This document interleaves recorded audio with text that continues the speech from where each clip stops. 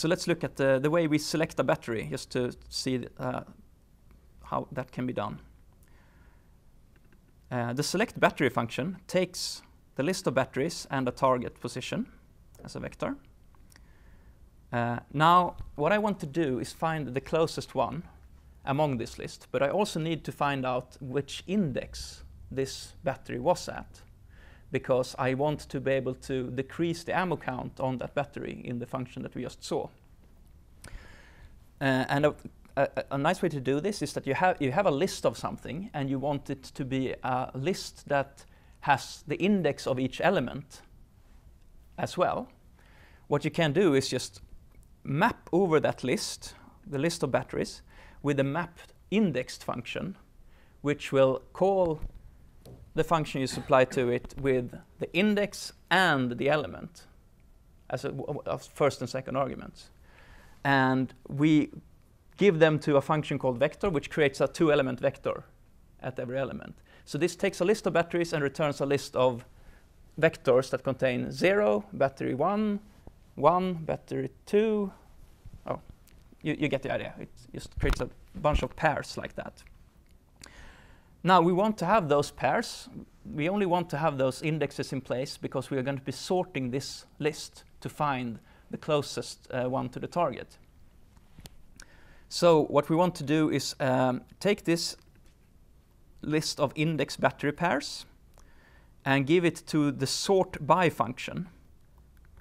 And the sort by function, for each element, it will determine if the sort order, if it's higher or lower than, than all the other elements in the list, by comparing the distance between the target and the position of the battery. So this gives us back a list that has, still has those 0, battery A, 1, battery B pairs, but they're now ordered by the distance to the target, right? And I then feed that list into the some function, which finds the first element that matches a particular criteria in this list. And I want to find the first element that is not out of ammo in that list.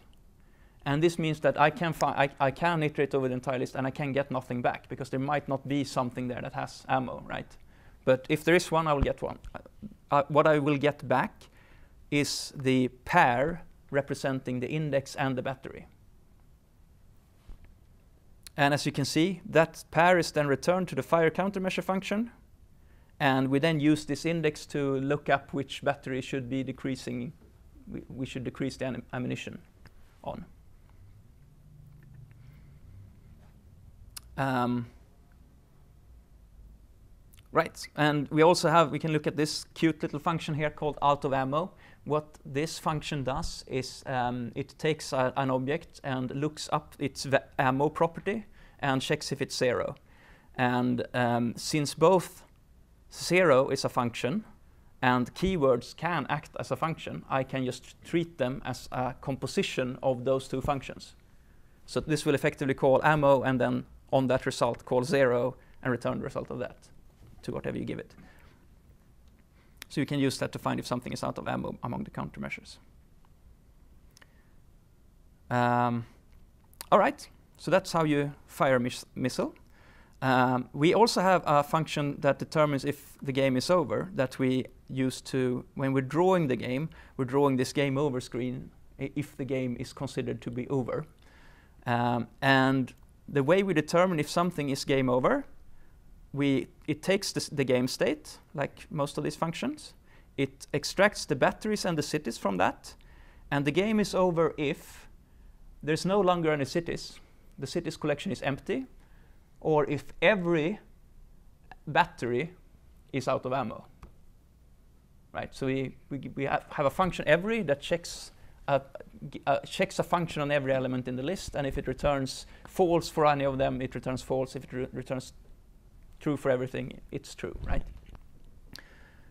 So the game is over if I don't have any cities and uh, every battery is out of ammo.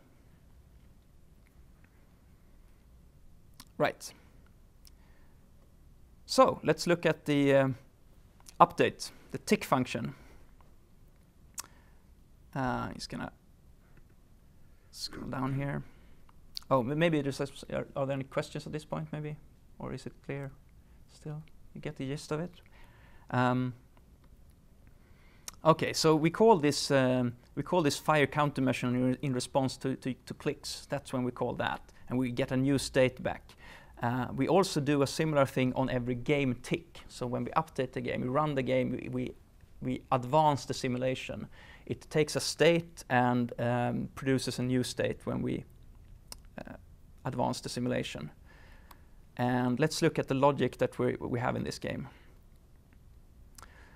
So this is a kind of a long, it's a bit of a longer function, there's, and there's a lot going on here. But remember, this represents everything that happens on every game tick in this game. It takes the state as the first argument and extracts a lot of stuff for it. It basically cares about every single element in, a, in our uh, state map. It looks at the batteries, the cities, the countermeasures, flares, the missiles, and the tick. And what it does is that it starts with the countermeasures. So the countermeasures, remember, are the uh, little blue things that I fire here. And it takes all the countermeasures and it applies the move function to each one of them. Um, so, and it gets back a new map, or a move, a new list, sorry, with the moved countermeasures, right? So what does the move function do? Let's look at that. The move function uh, extracts the position, the direction, and the speed from an object, uh, calculates a velocity by scaling the direction, which is a, just a normal, normal vector, uh, scales that by the speed, and then it produces an updated position by adding the current position, adding the velocity to the current position, and then it just associates the, the new position, the updated position into the object. And you get back like an object that has an updated position in place. So that's fairly simple. Uh, so this can move, uh, basically if anything has these three properties, the position and the, and the direction and the speed, it's able to, to move that, that object. Um, so we get back a list of moved countermeasures. Right, okay, so we move the countermeasures, but the countermeasures need to find out if they're, they're gonna stop once they reach their target, right?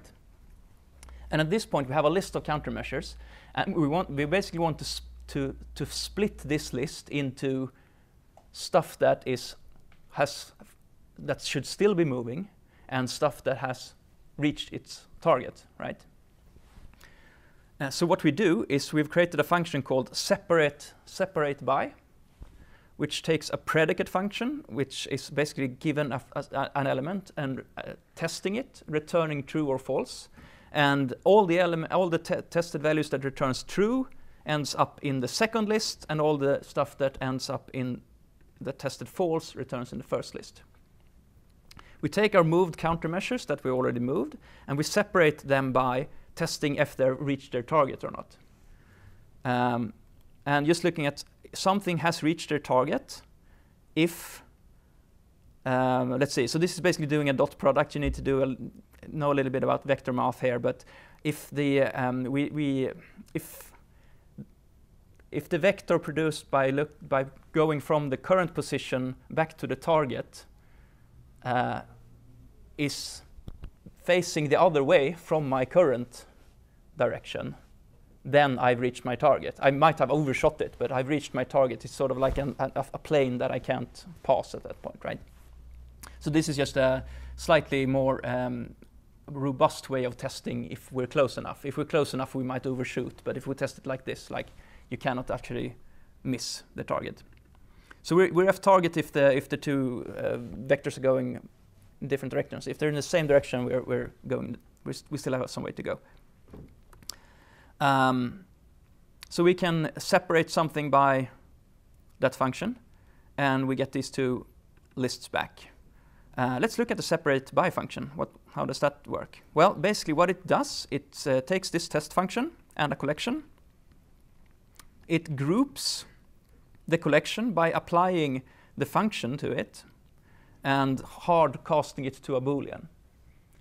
uh, which means that if you group something, you get ba back uh, a map that contains uh, the, the key that the, the, the group function produced and a collection of elements that is in that key, key right? So we get, uh, since we hard cast this to a boolean, we get a, a, a, map that contains true and a bunch of stuff, false and a bunch of stuff. And then we just look up tr the true and false keys from that and return them into a two-element vector that can be used here to deconstruct uh, those two values into actual local variables like this. So this returns a, a two-element vector, and we then have this expression here that says, oh, I want to extract these values from the two-element vector, and I want them as local variables instead. So that gives us a list of remaining countermeasures that still have some way to travel, and a list of exploding countermeasures that should start exploding because they reach their des destination, right? Uh, we also have the flares, which are the yellow circles here. Uh, and we have a function that updates a single flare.